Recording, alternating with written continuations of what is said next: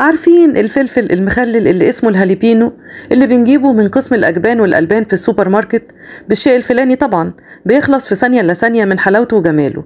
ده طبعا مكون أساسي لما بنيجي نعمل البيتزا بصوص ال ranch بنعمل منه صوص ال ranch بنحطه كده على المايونيز ومعاه شوية توم بودرة وبصل بودرة وبنقطعه حتت صغيرة. تعالوا بينا نعمله في البيت بمنتهى النظافة والتوفير ونعمل كمية كبيرة قوي بسعر بسيط جدا جدا وهيبقى متاح عندنا في كل الأوقات. ناكله بقى سواء جنب الأكل العادي أو نقطعه ونحطه مع الصوصات آه، سواء في البيتزا أو أي صوصات جميلة كده للفطاير. أنا رحت على طول على طول السوق وجبت لكم نوعين من الفلفل علشان تشوفوا الفرق ما بينهم. شايفين الفلفل الفاتح ده اسمه الأسباني والفلفل الغامق دوت هو ده اللي إحنا هنحتاجه للوصفة بتاعتنا لكذا سبب. اولا الفلفل الفاتح دوت القشرة بتاعته رقيقة جدا جدا مش هو ده اللي إحنا عايزينه. إحنا عايزين فلفل يكون لونه غامق وقشرته تخينة علشان يدينا نفس الهاليبينو اللي إحنا بنجيبه من السوبر ماركت بالشكل اللي أنتوا شايفينه ده. يبقى إحنا لما هنيجي نجيب هنجيب اللي لونه غامق ده وهنبعد عن الفاتح خالص عشان الفاتح مش هيدينا القرمشة والطعم القوي بتاع الفلفل الغامق اللي أنتوا شايفينه ده. يبقى إحنا كده أول حاجة هنجيب الفلفل الغامق للوصفة بتاعتنا. على طول على طول بقى آه أنا هاخد الفلفل الغامق دوت زي ما أنتوا شايفين كده أنا جايبة كيلو من الفلفل. هفضيه في مصفى كبيرة علشان أخده أغسله على طول. زي ما هو كده إحنا أهم حاجة مش هنشيل منه البذر لأن إحنا محتاجين البذر كمان في الوصفة لأن هو دوت اللي بيدي الطعم القوي للمخلل بتاعنا وبيخليه مشطشط جدا وجميل قوي. خلاص أنا غسلت الفلفل بتاعي. هشيل بالراحة العنقود اللي فوق زي ما قلت لكم يا دوبك الحتة بس اللي ماسكة الفلفلاية دي وهاخد الفلفل بالسكينه وهقطعه زي ما هو بالبذر مش هنتخلص من البذر ابدا. هقطعه كده لازم دايرة البذر تكون جوه الفلفلاية بالشكل اللي أنتوا شايفينه ده. هقطع بقى كده الكمية كلها زي ما أنتوا شايفين ولا هو تخين قوي ولا رقيق علشان يفضل محتفظ بالقرمشة بتاعته الجميلة. هنشيل برضو العنقود كده زي ما أنتوا شايفين. كل ما كانت الفلفلاية غامقة قوي قوي قوي كل ما كانت مشطشطة وجميلة وهتوصلنا آه، للوصفة اللي إحنا عايزينها.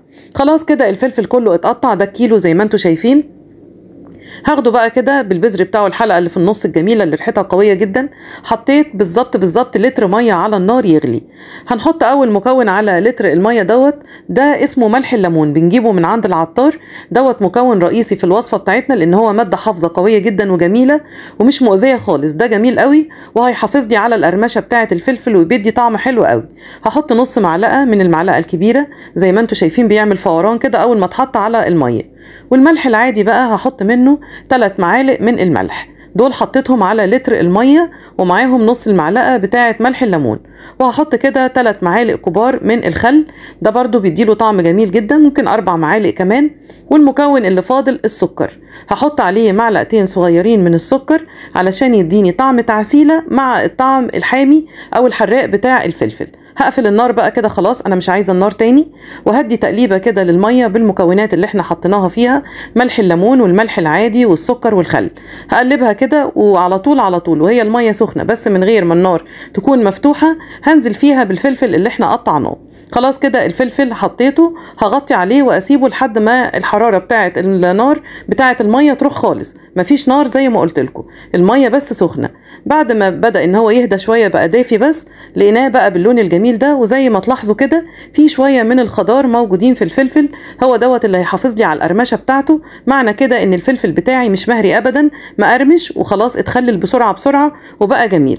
خلاص بقى جبت البرطمانات الجميلة اللي أنتوا شايفينها دي. أنا بجيب شايفين بقى الحتة البلاستيكة المدورة دي بتتباع عند اللي في المحلات اللي بيبيعوا الاطباق الفوم والاطباق الفويل. دي بتبقى موجودة علشان تحافظ لنا على جودة المخللات بتاعتنا. بعد ما نحط المخلل في البرطمان بنحط الوحدة المدورة دي عليه علشان تنزل لي المخلل اللي تحت وما يعفنش. لو ما لقيناهاش بنلاقي برضو الحاجات اللي هي بتتباع آه للبيتزا علشان وإحنا حاطين البيتزا في العلبة ونيجي نقفلها الحشو بتاع البيتزا ما يطلعش في العلبة. دي تنفع ودي تنفع. اللي نلاقيها في المحل نجيبها لأن دي مهمة جدا جدا في المخللات بتاعتنا.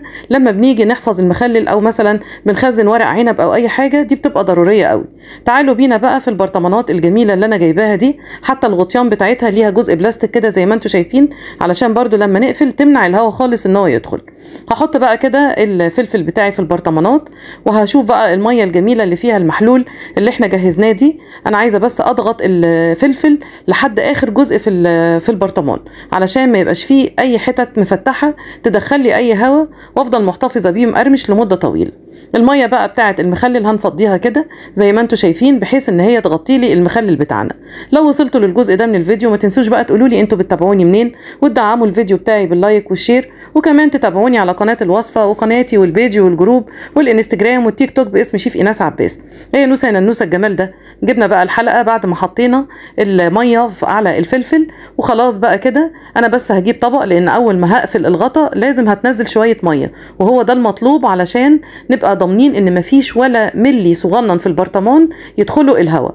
زي ما أنتم شايفين حطيت الوحدات دي اللي هي بتاعت زي بتاعه البيتزا وكمان الحلقة المدورة سواء جبنة ده أو جبنة ده الاتنين حلوين قوي وهيأدوا نفس الغرض. خلاص كده هاخد بقى بس هجيب الأول طبق أحط فيه البرطمانات عشان أكيد هتنزل مية من المية بتاعه محلول النقع بتاعه الفلفل محلول التخليل. وهبدأ بقى أمسك الغطا بتاع البرطمانات وهقفل أول ما هقفل الوحدات اللي أنا حطاها البلاستيك دي هتقوم نازلة لتحت وتنزل لي المخلل بتاعي كمان ما تخليش ولا أي هوا يجي عليه خالص. ده كده اللي إحنا جايبينه من السوبر ماركت. أنا عايزة أوريكم بقى الفرق في اللون يا سلام. اللي إحنا عاملينه بجد بجد يا جماعة بدون مبالغة يتحدى اللي موجود في السوبر ماركت اللي بنجيبه غالي ومستورد وحاجة كده يعني. لا إحنا كده بقى عندنا على طول ولما نيجي نعمل بيتزا أو صوص ranch أو أي حاجة إحنا محتاجينها على طول على طول هيكون عندنا حققنا المعادلة الصعبة وهنغطيهم ونحطهم بقى في التلاجة وهيفضلوا كده موجودين عندنا بالست شهور. حلو جدا وجميل وعلى طول مقرمش ونستخدمه أول ما نعوزه. بألف هنا وشفا ويا رب دايما وصفاتنا تعجبكم وتنال رضاكم.